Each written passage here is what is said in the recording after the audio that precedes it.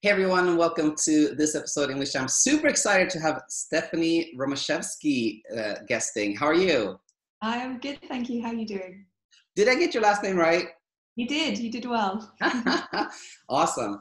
So super cool. So for everyone out there, uh, I've connected with Stephanie uh, uh, on on Twitter, and uh, really under like Sleepyheads. That's like uh, uh, you know that logo. But uh, all those tweets have been like super, super insightful. I've always been excited to talk to you. So I'm really, really happy to have you here. And so, so do share, you know, a little bit about your background, how you get into sleep. Um, well, uh, that was a while ago now. Um, I I was originally doing a degree in psychology because I thought I wanted to do something in psychology. Um, and I was very lucky to get a placement at um, Harvard Medical School doing um, sleep research and at Brigham and Women's Hospital. And they had a really cool lab there. I think they still do. Um, and um, we, I got to be part of some really interesting studies like trying to get astronauts onto a 25 hour day, looking at blue light, which this was, you know, 10, well, probably 15 years ago now. Um, and uh, so it was really interesting. And I came back to England thinking, oh, I, I want to be in sleep medicine. I want to do this. And then I knew a lot about the research side, but then I went into clinical, so learned all about the sleep disorders, went to work at Guy's and St Thomas's in London. They taught me a lot about the clinical side of sleep medicine. I started to realize that um, I guess I was becoming a physiologist. So um, I guess I started a bit more down the psychology route, but then became more of a physiologist. Um, and what I realized was with all the training that we get, we don't get much training in how to actually just help somebody get a better night's sleep. Okay, yes, if it's an organic sleep problem like narcolepsy, we had a diagnosis and we had a treatment plan. Um, but for something that um, affects the population a lot more, for example, insomnia, we didn't seem to have very good advice. Um, so I went on to do a master's in behavioral sleep medicine. Um, and that taught me a lot about the fact that there is treatment for insomnia, that it's not necessarily what we think it is. Um, and then I decided to to move and come down to Devon somewhere a little bit more green. Um, and uh, I set up a business and I work for the trust down here. And the only reason I really set up the business was because um, the NHS wasn't treating insomnia at the time in the most evidence based way. So we were using a lot of medication, but we weren't really doing the gold standard, which is cognitive behavioral therapy for insomnia. So I started doing it privately, which is what Sleepyhead Clinic, how we met through my Twitter account. Um, that's what I do privately but then the NHS cottoned on and they were super keen and we did a few pilot studies up in London, we did one down in Exeter and eventually we now do have these limited services but we're only at the beginning and I think it can only get better so that's kind of where we're at now. cool. What a what a cool story. So so you um so tell me what is so when you say you work for the trust is that is that the NHS or Yeah, so I, I run a few complex clinics with a neurology consultant. So we look into lots of different types of sleep disorders because what we realize now is that whilst there's some really good medications to help things like parasomnias, narcolepsy, sleep apnea. Well, not sleep apnea for medications, but there's lots of technical ways to treat these things. Um, the behavioral support was lacking. So, what we've done is created a combined clinic where a neurologist and a physiologist like me can both sort of tackle these problems together and hopefully help the patient in a bit more of a holistic fashion. And that's been going really well. We're getting really good measurable outcomes from that. So, I do those clinics as part of the NHS, and I still um, do a lot of work privately, um, just because our waiting lists are huge. um, so uh, it's good to have a lot of different support, um, and I also do a lot of training and trying to help other. Uh, clinicians understand how they can support their patients, even if they can't be a sleep specialist, at least they can support their patients in a slightly more uh, productive way than what we sometimes see, which I hear you talking about all the time. So I know we both know what I'm talking about. Uh, yeah, totally. This is so interesting. Yeah, yeah. You know, kind of my latest, uh, as you probably heard me talk about, my latest venture into exactly that is this like sleep coach school where I hope to teach clinicians how to use kind of the basics of the CBTI methods, etc. But very, very cool. What, what, what uh, how come, did you come up with the name Sleepyhead? Um, I think it was just me and a few of my friends mucking around and trying to think about what what I could call myself. Um, and I think we just came up with that, and it just stuck. and I loved it. So, and it was different from everything else. So I just thought I would do that. I wasn't, to be honest, at the time, I was just keen to get myself rolling out some of the support that we really should have been giving people in in my area. So um, yeah, and that that just was it. Um, I'm actually starting a new venture now called the Sleepyhead Program, um, and that is looking at online courses to help people sleep better um, because I can't see everybody even privately, and I'm getting a lot of international um, uh, requests. And of course, with the time differences, it's not always helpful. Um, we can't always see each other unless I start doing clinic in the middle of the night. So um, we're just trying to find an accessible way, more accessible ways to help people, and at different levels. Just like you say, it's a bit of a step care approach, isn't it? We we can treat the complex problems um, by having a patient in front of us.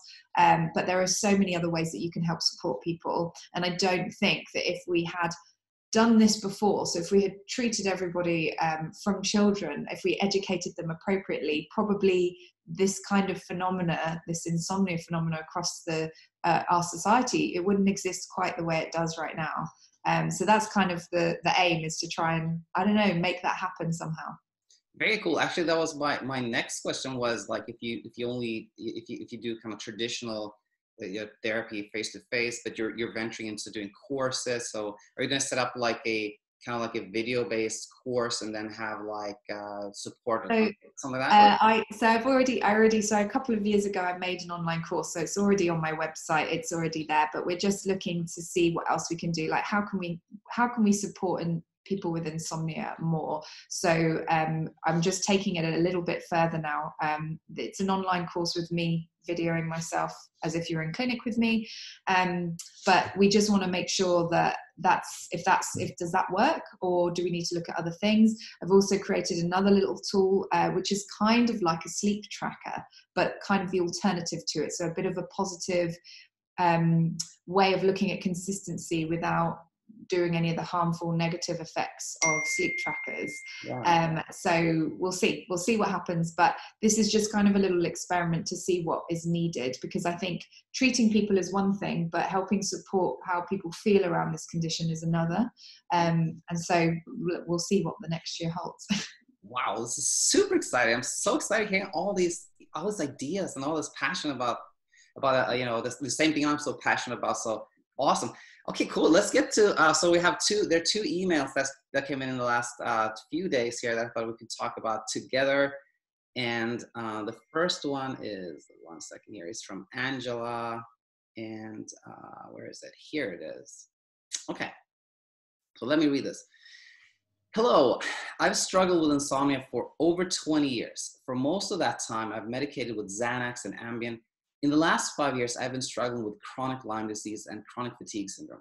I was told to get off all meds to allow my body to heal. The meds are toxic and interfere with homeostasis. Now I'm not sleeping and still can't heal because sleep is what brings healing. I feel like I'm in a no win situation.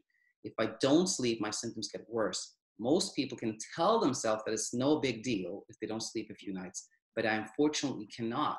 How can I get past the pressure, frustration, and worry of not sleeping with a chronic illness? I almost wonder if my sleep issues are connected in some way with my health issues. I've tried CBT and had success for two weeks, but slid back into having insomnia. Trying it again now, but I'm having a much harder time emotional this time, also in a flare up. Any advice would be much appreciated. Thank you, Angela. So, uh, in this email, yeah, was, yeah, I think the kind of key thing here was that this chronic chronic uh, illness and insomnia, etc. But what, what are your thoughts, Stephanie, on this? So the first thing I would want to find out is what CBT she had. Was it CBT for sleep or was it CBT for anxiety or what, what was it?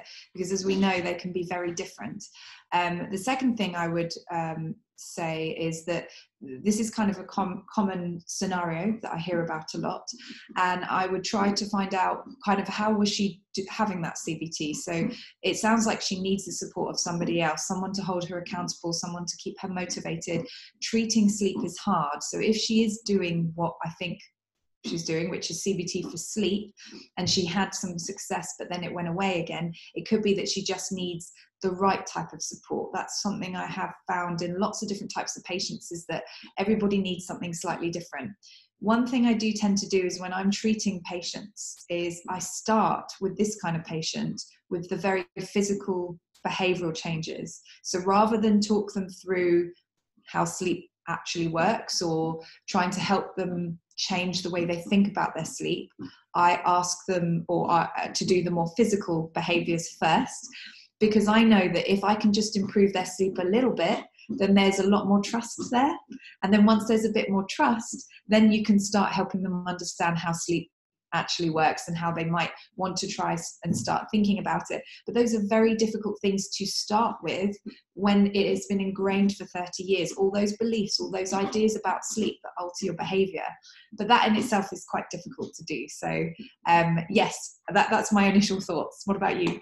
Yeah, yeah, yeah. Okay, so I, I think I know exactly where you're going in a sense like you're you're uh, you're saying if we can just get to a place where someone like angela sleeps a little better then we can do the work on like kind of the, the beliefs that may be feeding the insomnia. And i'm going to jump right there. So what i hear here from angela is um, that one of the beliefs that may be feeding her insomnia is that if i don't get enough sleep you know that's going to affect in this case specific example my my healing. Like i cannot heal if i'm not sleeping well. And that as angela kind of you know, already see she expresses herself that the pressure that that creates to sleep makes sleep very difficult mm-hmm. so um, uh, I, I, what i'm thinking is uh, i'm kind of jumping ahead of what you know your your very insightful plan here but my, my thinking there is try, try to find evidence that uh, that that you actually can heal with with e- e- try to find evidence that sleep is not not that crucial to uh, you know the, the the chronic illnesses that you have that will really be beneficial to you thoughts on that I think that it makes a lot of logical sense, but the problem is, is that she has had certain thoughts for 30 years. Oops, sorry, that was my phone. Um, uh, so she's had these thoughts for 30 years, and it's going to be incredibly hard to break them which is why if i could try and make her see it in a slightly different way to start with so sort of the way i would approach it is you don't have to do this stuff forever. Trust me for a couple of weeks. We're going to put you through something that is going to be uncomfortable but what have you got to lose right now? You know if it doesn't work you don't have to carry it on. And then I would start with the approach of trying to find some evidence to um, combat this particular ideology around her sleep. I just think, and having had a lot of experience, that starting with that kind of thing, it's great. It's absolutely great. But just like with most CBT, when you're in the neck thick of it, if you're if you're really anxious and stressed about something, it's difficult to try and rationalize that way in the first instance.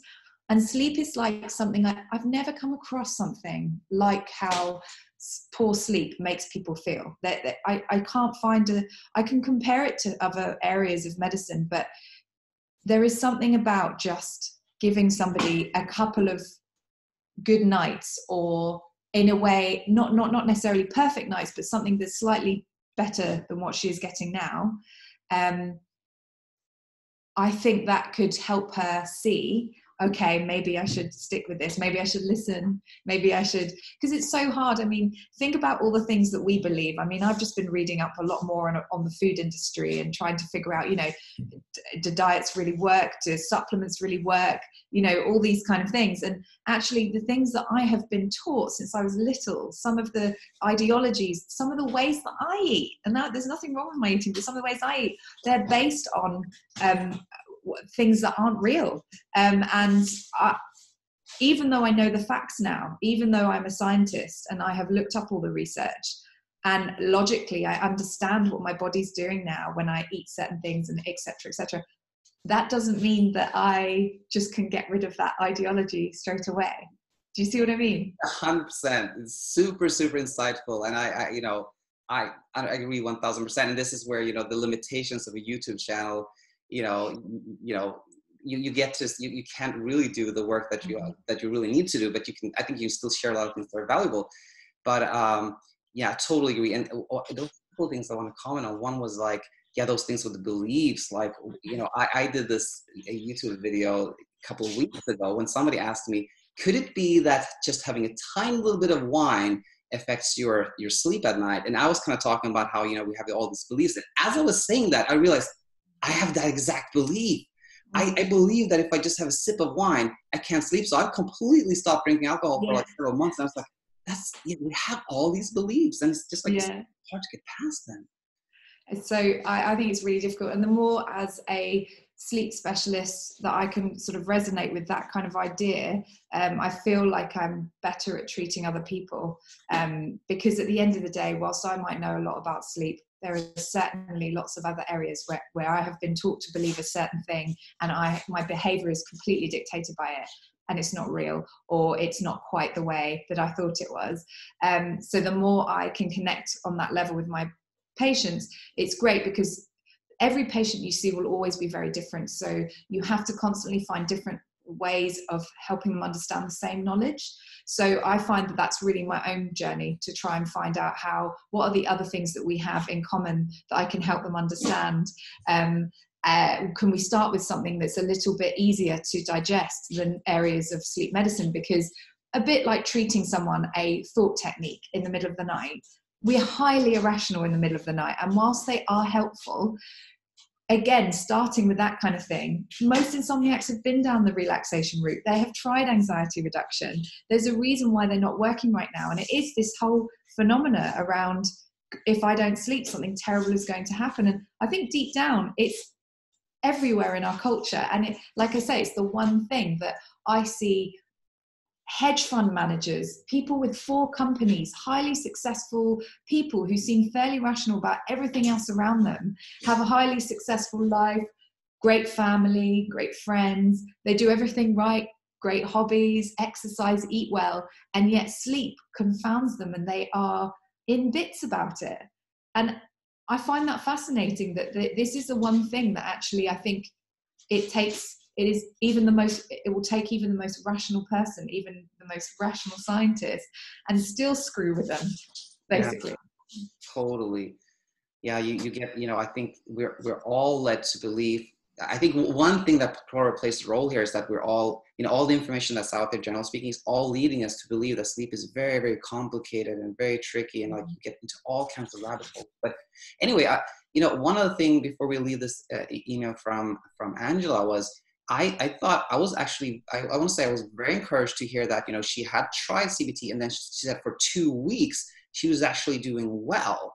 Mm-hmm. So that made me think like you know that that takes me into the direction of like you, you can you can do really well in a self-directed way. Some people do, but it's generally pretty hard. But maybe um, I would say for Angela like that's a really really encouraging. If you had trouble sleeping for 20 years and you slept good for two weeks maybe if you had a little bit of support maybe if you had a little bit more uh, more patience and kept going mm-hmm. you would have done really really well. But isn't I, I think that's real real encouraging right?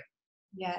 Oh yeah absolutely. Um, but i do find that obviously once you start treating somebody and they start seeing results the next thing you have to combat is this idea that as soon as sleep doesn't it's not linear sleep. So even recovery you're going to be up and down. Nobody sleeps eight hours every night. Nobody gets the perfect sleep. It just doesn't exist right? I know you know this.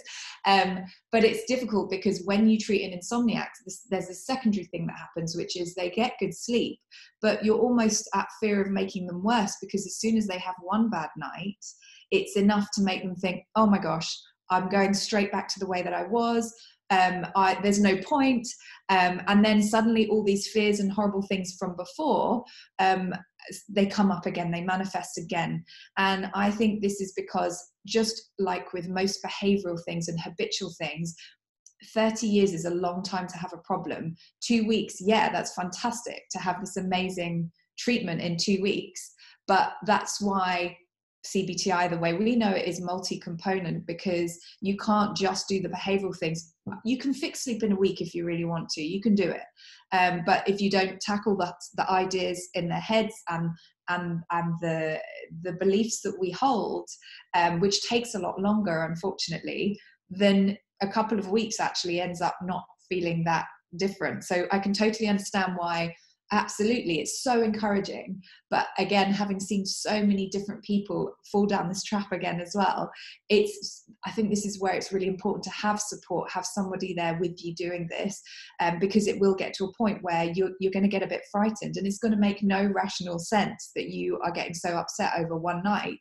But you can totally understand it. If somebody's had that problem for the last 30 years two weeks suddenly doesn't seem that that much. You're, you're taken straight back to where you were before.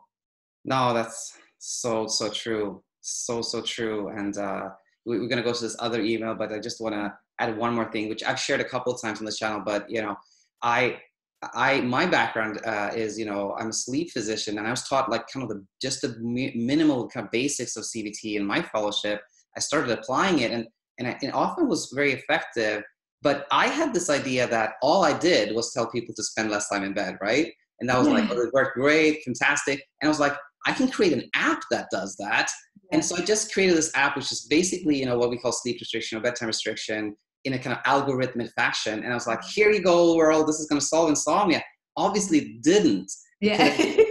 It was just I, my ideas were completely wrong. It's like that's just a small component of it. So much more yeah, the support, like the encouragement, the education, all that in a way we are the wrong person people to do that kind of thing because we we are habitual in in the way that we have been treating so many people it's ingrained in us now you know i won't get insomnia i will get sleep problems in my lifetime because i can't avoid that because i don't know what's going to happen but it's very unlikely for someone like me to get insomnia because I've been talking over and over these points and understanding it for so long. So, in a way, when we create these new ways to try and help people, and this is why I find it so useful to talk to my patients, they are definitely the people that have helped me create my best um, treatment plans because until you've spoken to an insomniac and, and, many of them many many of them and understand all the components it's difficult to try to help um, so and, and we are in this new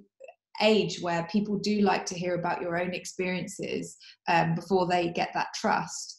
Um, but at the same time, we have to remember that we have to remain scientific and we, and we want to help them from a very sort of constructive point of view as well. So uh, I've often um, sat down with a lot of my patients and asked them a lot of questions, and they've been very helpful to me because honestly, what I learned out of a textbook would never have been that helpful. And I think it's really useful to say here that physiologists, psychologists, doctors, as far as I know, and I have just done a piece of research to um, look into undergraduate medical training in, our, in, in the UK, and it showed a median of an hour and a half sleep education. Um, and I know, having seen research from other countries, that that's quite similar fr- from what we know right now. Um, but it's scary to think that even sleep physicians and physiologists like you and I, just as part and parcel, don't get this really important education. And at the end of the day, this is something that, I mean, I don't even think we should be calling it insomnia. I feel like we should just be calling it a sleep problem because when you talk to society about what what's a sleep problem they will they will describe insomnia to you they don't describe any of the other things or they will but there's still the elements of insomnia in what they're describing in most people. Um, so it's just it's just really interesting. And i know recently we were having a chat over twitter about how you know who should be doing this? Who, who is the best experienced? And to be honest i i have a i have a, a bit of a an eclectic background with all the, the, the qualifications and the experience i have. And i have to say if i didn't have any of that i'm not sure i would be so successful at treating but we can't we can't do that. We can't train people up like that because it's too much. It's too much work. Um, so that we really have to think about now how how do we get this information out there? How do we educate people better? Um, but it is fascinating how neither of us for example without going off and doing our own research and understanding out of a textbook or out of our own you know our um, assessments we would never have understood enough 100% uh, you know and even when i started this this youtube channel you know i thought i, I understood insomnia pretty pretty pretty well. I had no clue. It's been in the last year talking to like you say like talking to people over and over again that i'm starting to really you know get an understanding of it. And uh, you know and i did pick up i did pick up on like i was going to ask you about that. You said mm. cbt for sleep. And yeah. i was like ah that's a good one. So you, yeah. you're consciously thinking about that Yeah, uh, yeah, absolutely. Um, uh, a lot of people come to me and they have had CBT in other areas, and of course, that means they're not getting, for example, the sleep restriction that you've already mentioned. They're not getting certain behavioural tools to help with their sleep. Um, and while CBT can be really helpful for the element of anxiety in their insomnia condition, it's still not assuming that sleep can be a whole condition in itself. Poor sleep can be a primary problem. Um, and even when it's not a primary problem, we still need to treat it like that. And that is another problem in my country at the moment, in the UK.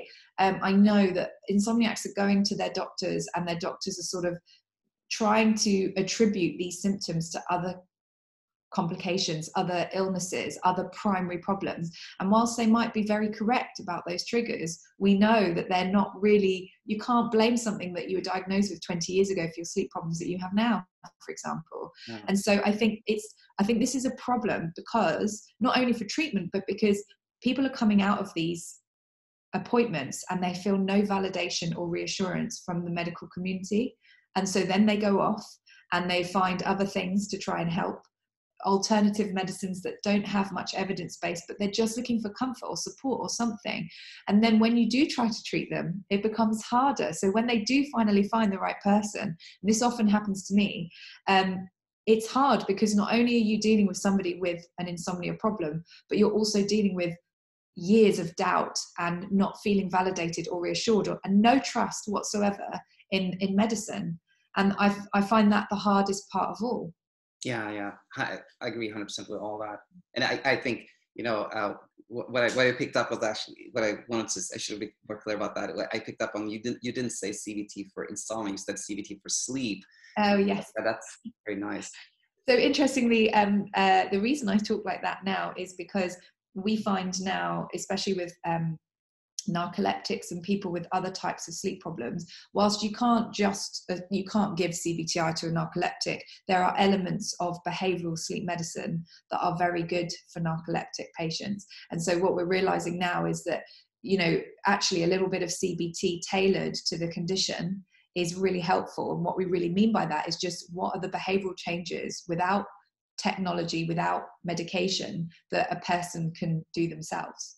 Interesting. Yeah I totally believe it. Cool. Let, us go to this second email here uh, that um, has a very specific question that I'm sure you've gotten very many times. And this is from Jamie. Uh, where is it? There it is. Who uh, I did answer one of her questions previously. And so let's read this one. She says, uh, Thanks so much for addressing my question. Very helpful advice. I actually have been sleeping almost back to normal for the past two nights. Seven hours in bed, falling asleep in 20, 30 minutes. I can go back to sleep easy. And if I feel sleepy earlier, then I just adjust my wake up time earlier. So I stay at seven hours in bed.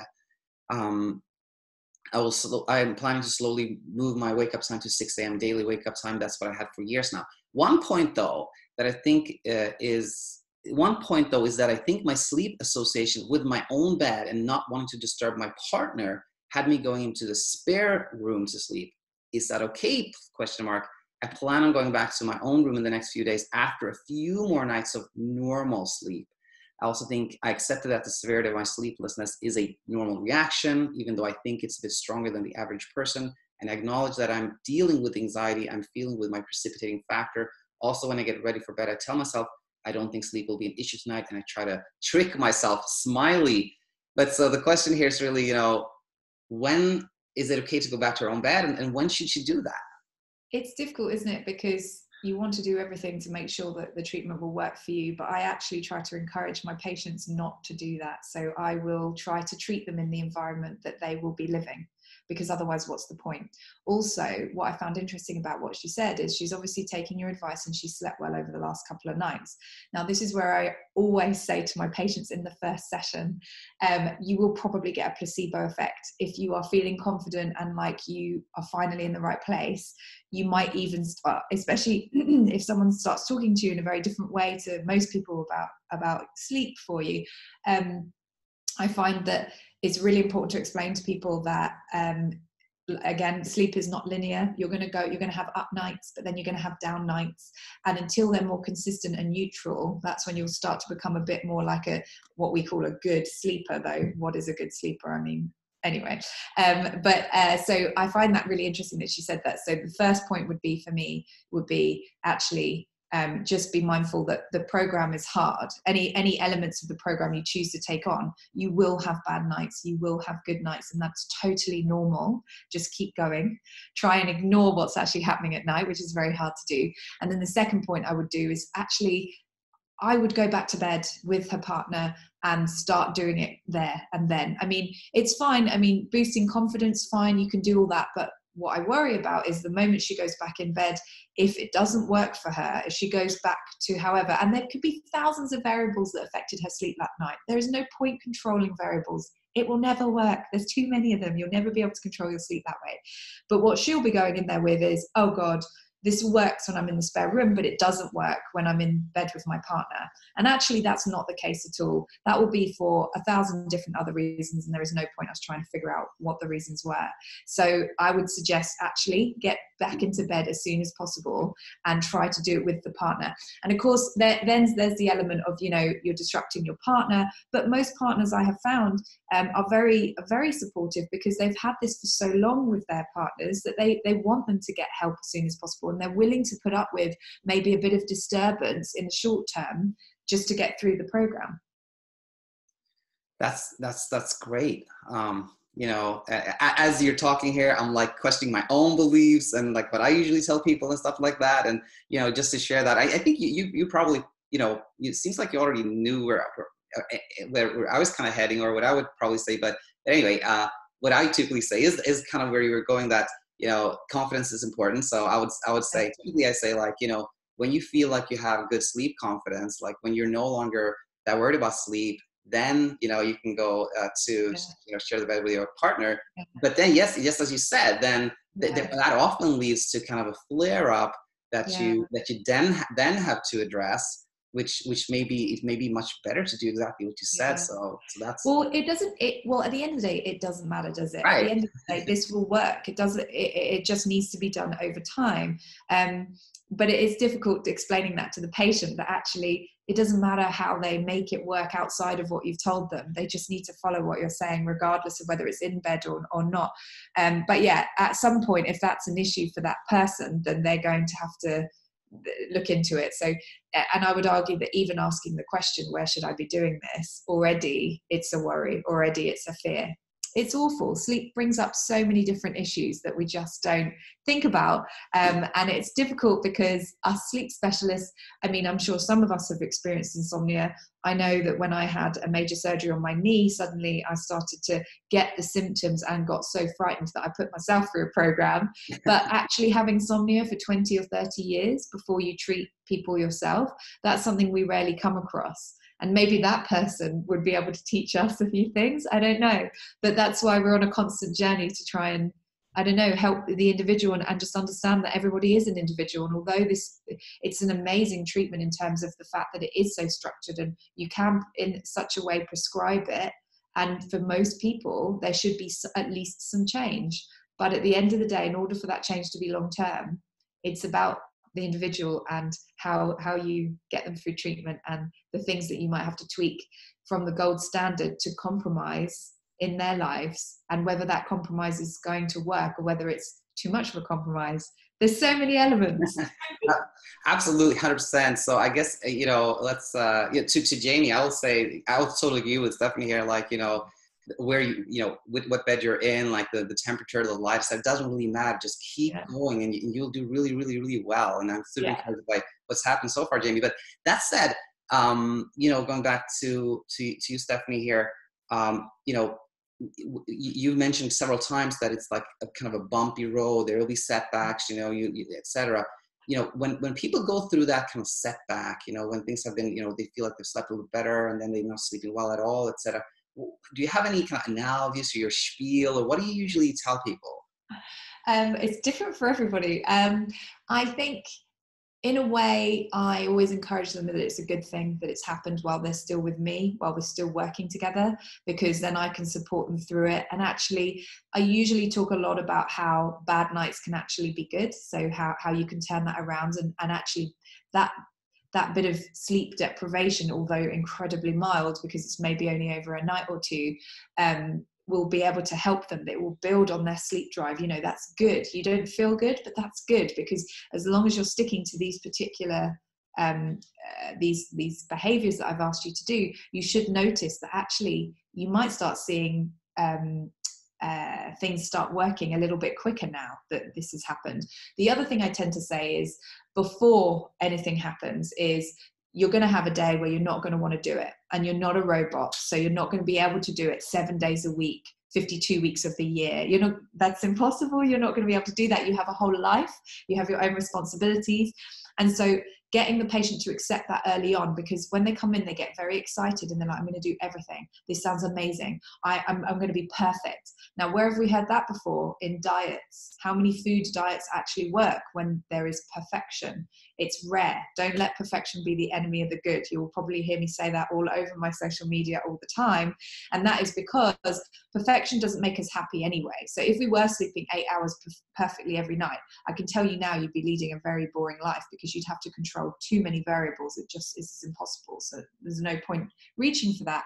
Um, but also the biggest issue with things going wrong is your ideas around things going wrong. So, what do people do when they're on a diet and they stop doing it for a day? They just stop doing it altogether. What's the point? It's not working, and they fill fill themselves with this negative sort of um, uh, common uh, conversation that happens to them every single time they're not doing something right.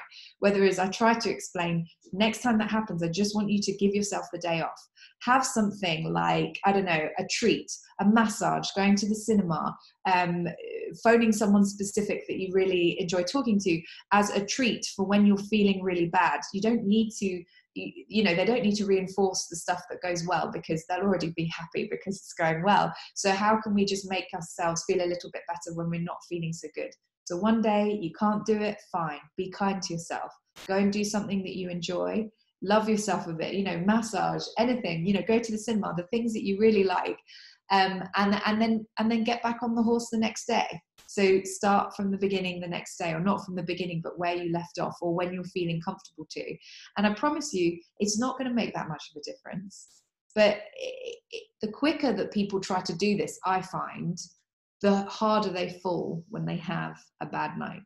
Whereas if you're much more consistent, and consistency isn't perfection, consistency is just do it more often than you don't. That is what will break a habit or make a habit do it more often than you don't. That does not mean absolutely every single day I've got to do exactly the same things. In fact, if you start talking to patients like that, then you're really just sounding like the people that keep spouting off sleep hygiene practices like they're going to fix everything. And suddenly you've got a patient doing obsessive ritualistic things before they go to bed, which as soon as they stop doing, they're not they're not going to sleep well anymore. Um, because they have a belief that if they don't do those things, everything will go go bad. So it's a it's a fascinating area to try and tackle. Absolutely. You know and again as i'm listening to you yeah by the way what you you shared here uh, when, when people have like a that sleepless night very similar to what i talk about. And now, now i'm thinking like you know one thing i'm kind of like almost like i think now i'm thinking like maybe i'm, I'm too rich, ritualistic here i always take people like you gotta get up the same time every morning no matter what that one maybe it's better to phrase it as like you really should try that, but yeah. if it doesn't happen, then you know here and there stuff. At the end of the day, if you think about like the most extreme cases and you're looking at them and thinking, wow, if you do this, it's going to really change your life because I can see all the things you're doing wrong. Actually, even if they only do it by half, that's a lot better than what they're already doing. They will see benefits. It's just that that's where I guess the prescribed nature of this treatment is unhelpful because everybody will be starting at a different place. Um, so, in one person, it will be really easy for them to get up at the same time every day anyway, and in another person, it will be really difficult. Compromise. As specialists, we should understand when the compromise will still work and when it won't. And that is what we're there for. We're not really there to tell them what to do. We're there to try and help them understand how do they adapt this to their lives and, and the compromise. You know, actually, on these days, I do. I don't know, I've got to take the kids to school, and on these days, I've got to do this. And if I were to stick to this, and I'd have to get up at four in the morning every single morning. Um, and you know, some people might be willing to do that, and then other people not so much. There will be ways and means that you can still make it work. It might take a bit longer, for example. But at the end of the day, think about what the goals of treatment are for that patient. you might be looking for perfection now because we're the specialists and we want our patients to do really well. That's the nature of what we do. That's why we do what we do. But they might not need that. They might just need better sleep something that they can function on um, something that makes them feel good happy. Um, and and often uh, we have to remind ourselves of what that patient's goals are. It's very easy to just assume that it is just to sleep better. But if you ask, and I always ask at the beginning, what are the goals of treatment? So what what what would you ideally like? And often, okay, maybe the first few points will be related to their sleep, but then they start talking about personality, how they cope with their days, um, that slump in the afternoon, how refreshed they feel in the morning, um, and things that aren't necessarily as related to I just want to sleep all the way through the night, every single night. Um, you know, most of them are understanding that that might not be realistic. Yeah. So yeah, it's kind of about yeah, it's expectations. I I think expectations have a lot to answer for in in terms of in in our area especially, but in general, when we're trying to do things, our expectations are the first things that almost make us fall down. Nobody else is putting that expectation on us. Um, and so, as specialists, uh, we, we should sort of be encouraging, you know, baby steps essentially, slow baby steps. 100%. I guess I just have a few, just maybe one one more question here before we we finish up here. Do, do you find that um, do you find that you connect with a lot of other people that you know uh, have the same thoughts and same uh, you know, and are as interested in song as yourself? I'll give you a little background on that question because, you know, uh, when I feel like there, you know, there's this called, thing called CBT there, cognitive behavioral insomnia, right? And a, fair amount of people have heard about it. Fair amount of people have gotten, you know, start using it. But those people that are like really interested in insomnia and take it to a place where you taking it are fairly rare. And I, I want to say when I first connected with like uh, Martin Reed and Michael Schwartz and Nick Wignall, uh, uh, that I you probably all know them from Twitter. When I first started talking to them individually, it was almost like I was in this like you know a, a geol like a biologist in this like island that no human has been on. And it's like all these new species and thoughts and processes. And like it's like because they as they started you know treating people, they almost worked in like in their own little universe and they came up with like really interesting thoughts and like ideas that i've never come across really in textbooks. And as i'm speaking to you it's the same thing all over again. It's like oh God, that's a great way it's like so how do you feel about that? Do you, do you feel like there's a lot of people like yourself or not really? Um i don't know. I mean i, I obviously connect with other sleep specialists but actually in my day-to-day life that's usually other people that don't do exactly the same thing as me because we need to use each other. So for example the neuro consultants and um, the nurses and, and the doctors and the psychologists.